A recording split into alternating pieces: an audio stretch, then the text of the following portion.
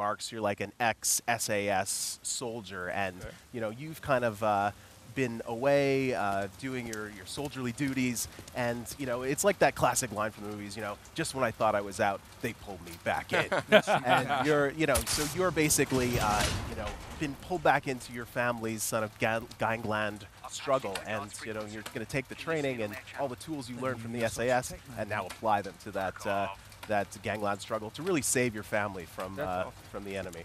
So what exactly makes Blood and Truth here, uh, which we All right. actually announced back at Paris Games Week about a month, month and a half ago, what makes this sort of bigger and better than the London Heist? Well, uh, we can see a lot of it on display here. So we got a lot of the things uh, from the London Heist, like the object interaction, that one-to-one motion. You know, like uh, you know, James is going to pick the lock here. You can actually see him moving the move controllers in order to uh, move the character's hands and, and pick the lock with his physicality. So we've got a lot of that. We're doing all kinds of that. We're also doing a lot of movement. You know, a lot of VR games now are doing a lot of teleportation and stuff, and we just thought that is not right for us. You know, we want to have a grounded, real mm-hmm. experience where you feel like you're in the experience for real. And so we have this movement system where you get you you kind of move like a soldier tactically from point to point. You can do the classic sort of action hero thing where you're on either side of a doorway, kind of doing the, the gun lean, left and Yeah, right, yeah. strafing. Gotta have a gun lean. That's it, man. Yeah. Gun lean's important. I mean, that's one of the things I think about virtual reality uh, in the action genre specifically uh, that's so interesting. And, and uh, not to talk about another game, but we saw a little bit uh, a little bit of this from Firewall, which was actually announced at Paris the other night. I mean, this is a, and we're seeing it here. This ability to peek around corners, this ability to uh, you know sort of peer over obstacles, things that are almost impossible to do, or certainly not a, a little bit cumbersome to do on a traditional flat game, as they say, uh, played on your TV. I mean, uh, we've seen some developers uh, over the years experiment with leaning and things like that, but it's just so much more intuitive in virtual reality. It becomes a core part of the experience. Yeah, absolutely. I mean, we see people uh, ducking and leaning Yeah. by i- instinctually, not even necessarily trying to go, oh, uh, the bullets are coming in, I need to lean. It's like, oh, well, watch out. Yeah, yeah. I mean, it's it's just something that you know. I know there's a ton of people out there who have still not you know tried out VR. It's a it's a new exciting technology, but. I mean, games like this, especially with this high production value, and uh, you know, just being able to really, it's, it's a great test case for what I think is possible here in this this virtual reality future. And it looks fan. Yeah, graphics are This really is nice. one of the best looking VR games I've seen. So tell us a little bit about this uh, interface we're seeing right now. Like, it looks like security camera. Yeah, so we're kind of showing our object interaction off a little bit in this uh, part of the demo. So we, uh, we're trying to track this character, Keach, and figure out where he's going to be at in this uh, casino. So we're using the security feeds Found to him. just sort of track him, and then we're going to obviously, we might just go after him, actually. Mm, because, uh, interesting. you know, Make sure you're out he's just not the nicest person. Oh, Well- okay. Gonna shoot some people in the casino, it seems. Yeah. Well- So- Copy. Yeah, so there's uh, we're set in a casino here, and we're sort of tracking this character. And one of the things I think is interesting about this game as well is, it's a very sort of authentically London game. Yeah. You know, it's kind of like on one hand, kind of the grit and grime of London, but on the other hand, some of the glamour as well. And it's kind of the juxtaposition between those two. So tell me a little bit about that from a design perspective. Well, I mean, we, you know, we live in London, we work in London, uh, we live and breathe it every day, and so we see all that stuff uh, every day, and, and that's where we get a lot of our inspiration. You know, like there's a tremendous amount of inspiration, you know, that we took from a lot of those Cockney gangster movies and stuff Yep. for the London Heist, and this is now, yeah, exploring a little bit more of the glamorous side and the grit side of Yep. London. So, you know, exploring more the angles and and how this great city kind of mixes both of those things. Yeah, I mean, it's just uh, it- the city's practically a character unto itself in a game like this, and uh, you know, I think uh, it's just it's so cool to be able to explore something like that in VR, um, and I love that it's not you know offline. Time to go. just sort of a shooter. I mean, I love shooters to death. I play them all the time, but I like that they kind of here. And actually, we're gonna see a little shooting right. Oh, oh, Yep. that's cool. best you got? Yeah, using the PlayStation Move there, getting that that precision uh, shot in. It's, it's There's very lean. atmospheric here, very tense. So this is uh, actually first gameplay, uh, first live gameplay Yeah, that we're we're, seeing out of this. Um, and so this is uh, Blood and Truth. Now, I don't think a release date has been discussed on this one yet. It's just Yep.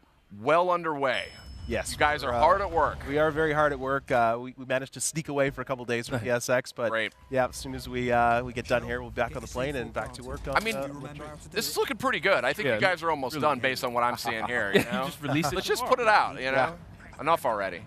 No, this looks great. I mean, uh, you know, and, and I know development, especially on VR, is, is is tricky because there's just so many moving parts, there's so many moving pieces, and there's so many things you have to factor in during a development process. So I'll be honest with you, I've been doing this for a long time. It's not often that I see uh, a title, you know, so early in development that looks this polished. Oh well, uh, thank you first of all. Uh, you know, we we have a really great team uh, in London Studio. Uh, you know, the team behind the London Heist, behind VR Worlds, and you know the. the Studio actually has a pretty rich history. of Yeah, it does. Stuff we did, um, you know, the Getaway back in the day, and you know, we have some people on the team that actually still are in the studio from that title. So we learned a lot over the years, and uh, you know, we're just applying it with Blood and All Truth. coming together. I, you know, I feel, I feel like it is, uh, and being able to actually go to a show like this and show it to people, and seeing the smiles on people's faces after they're playing it is just awesome. This is cool here. So was that a charge I saw, an explosive charge that Yeah, so there? you're, you're basically trying to take out Tony's casino here and, and basically kill one of his major revenue revenue streams. Uh, and so you're planting some C4, uh, moving through the casino. We can see our movement system at work here. James is kind of strafing around Yeah. between the uh, movement points and shooting at the enemies. Uh, so really, it just gives you a lot of control and a lot of um, you know agency when you're uh, when you're playing Blood and Truth. And this idea of like manually slapping in that clip is just really exciting. I mean, that's just such a this is, I, this is kind of what I think a lot of people sort of dreamed of when they were thinking about VR and and what was possible with VR is, you know, look, DualShock 4 greatest game controller ever made in my book, but there is, you know, it, it is still sort of a layer of abstraction uh, from the player at, uh, to the interaction in the game. So being able to really, you know, use your full body, use your head, use your arms with the PlayStation moves. Uh, and actually, we have uh, two PlayStation moves, one for each hand on this title. Yep. Uh, is that the primary control scheme, or? Uh, I think that's what we're leading with Yeah. uh, at this point, definitely. Um, and it just gives you that control, like as you're saying. And it, it, there's a lot of things that I think that people probably haven't seen this title. Like Nice. James has just managed to grab the Nice. uh, Grab grab the uh, grenade and throw it back. Awesome. Like in most games, your only option is to run away from the Yeah. grenade. Yeah. There, you could catch it, throw it right back. or maybe you sort of fumble to like hold a button down and Yeah. throw it back or something. So I mean, yeah, it's just it, it's a good example I think of uh, what's possible. This is a very new medium. We're all figuring this out. We're all in it together here. Uh, every developer is working in the VR medium, trying to you know just really innovate, you know, and, and, and develop a new, you know, vocabulary for gaming. And, and that's, I think, uh, what's exciting to me to see games like this. Absolutely, it's it's it's a heck of a challenge. I won't Yeah. lie, but uh, you know that's why we get into this because it is so exciting. It's And bleeding edge, you know. I mean, this is this is super super cutting edge stuff, and uh, definitely not toys you get to play with any old day of the week. that's it. Uh, that's why it's exciting to see all this. So looking great. Yeah, uh, James. Oh, see- Oh, off some of okay, the all cool right. Stuff you can. That's perfect. And I actually I, I got a chance to talk with a couple of the, the leads on the, the title uh, back at Paris Games Week, and they were telling me there's a lot of tricks you can do. Yeah, They were saying even things like if you get really good, you can throw a clip of ammo up in the air and slap your gun across it to reload in midair. Yeah, I mean, you could do that with two guns as well. Throw two clips, clips in the air, turn your guns upside down, catch the clips, and uh, That's take some guys out. So Okay, we need to you know, the playfulness is uh, is a huge part of our title. James is gonna. Ah, there's a Whoa, nice, nice little trick all right. there. A little uh, Look at that. hey, Shot in the face. Yeah. time and place for that. I mean, that is super cool. And I am sure that you can dual wield if you want. yeah, absolutely. We got uh, a bunch of different weapons. Uh, if you see the trailer, we've got SMGs and assault rifles, and we saw some yeah, the grenades double earlier. so- SMGs. Give me those. Yeah, yeah, man. Yeah, this is cool. This is really cool. This is kind of what um, you know. I mean, like many people, the London Heist is, is was one of the most uh, impressive experiences, especially early on during PlayStation VR. I mean, it looked incredible. Uh, it played great. It was exciting. It was immersive. I mean, everything from lighting a cigar Yeah. to you know, spraying, uh, you know, an SMG out a window in a moving truck. I mean, it was. I, I love that truck sequence, like opening up the, you know, the glove box and, and messing with the guys like soda and all that kind of stuff. I, I, I love doing stuff like that in VR. It's it's a huge part of the appeal to me.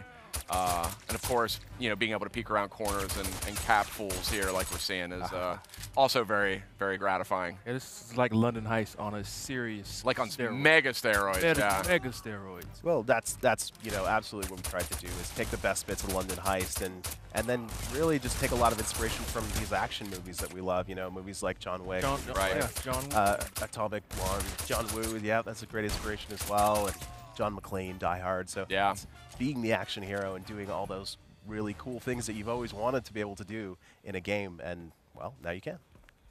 So tell us a little bit about the locomotion con- uh, system here. Is that holding the move button to move forward, or how does that all work right now in So, development? Yeah, you can basically just look at the point you want to move to, Oh, press the move point and move button, and then you move there. I see. Uh, I see. That's a good way to do it. Almost Yeah. like a like you assign a point and then you kind of go to it. Yeah. Yeah. Uh huh. And the other cool thing is you can actually strafe between points as well. Uh-huh. you can, uh, you know, it gives you a lot of control.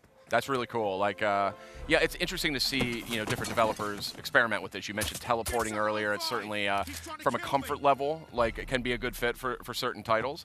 then there's other titles that give you uh, full control, direct control using DualShock or or even PlayStation Move in some cases. But uh, I mean, I think this is what I mean is there's still just a lot of experimentation going on. This is crazy. Yeah, this is, uh, you know, one of our sort of uh, mechanics is the slow-mo idea. Yeah. Oh, shot Marvin in the face. Wow. So you can basically, uh, you know, move faster than the enemies because of your training, and so, uh, yeah, you see James uh, showing that off there. That's It feels awesome. So how It's often Super can you use that mechanic?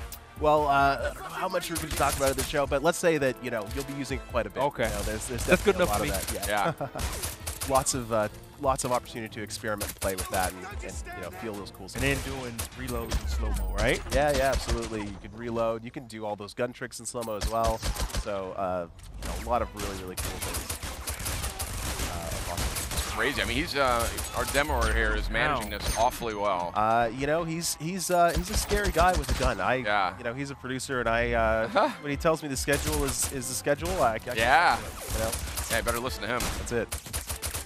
That's cool. Yeah, it actually really works too. Like it doesn't feel clumsy or, you know, I mean it.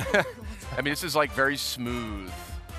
Oh Uh-oh, my. Here we go. So yeah, I know Oh, there's some decisions you can make in this game too. Yeah, tell Yep. us a little bit about that. Yeah, well, I mean, you know, it, in in the in the game, we want you to be the kind of action hero that you want to be. So, do you want to be the guy who's trying to kind of convince this character to give the information be the good cop, or you're you going to be the bad cop?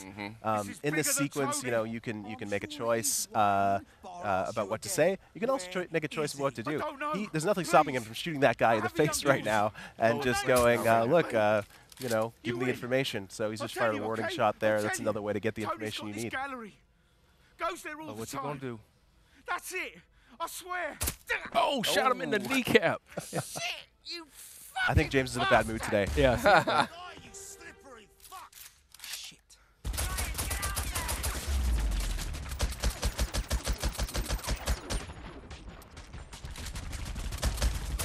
This is interesting Gave to see. him Oh, you way out. finished him off.